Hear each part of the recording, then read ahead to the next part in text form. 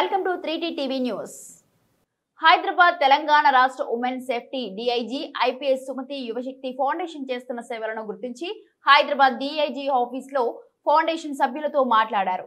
రాష్ట్ర వ్యాప్తంగా యువశక్తి ఫౌండేషన్ ఎంతో మంది గర్భిణీ స్త్రీలకు డయాలసిస్ వ్యక్తులకు మరియు డెంగీతో బాధపడుతున్నటువంటి చిన్నారులకు అనేక రకాలుగా రక్తం దొరకక ఇబ్బంది పడుతున్న సమయంలో యువశక్తి ఫౌండేషన్కి తెలియజేసిన వెంటనే వారు వెంబడే స్పందించి ఒక సంవత్సరంలోనే పన్నెండు వేల మందికి పైగా రక్తదానం చేయడం అలాగే గ్రామీణ పేద విద్యార్థులకు చదువు విషయంలో సహాయం చేయడం అభినందనీయమని ఐపీఎస్ సుమతి అభినందించారు.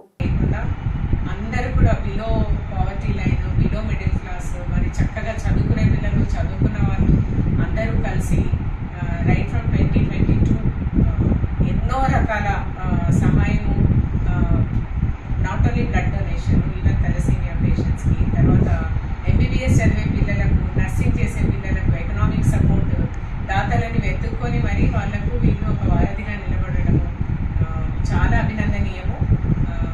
వీళ్ళందరికీ కూడా మనం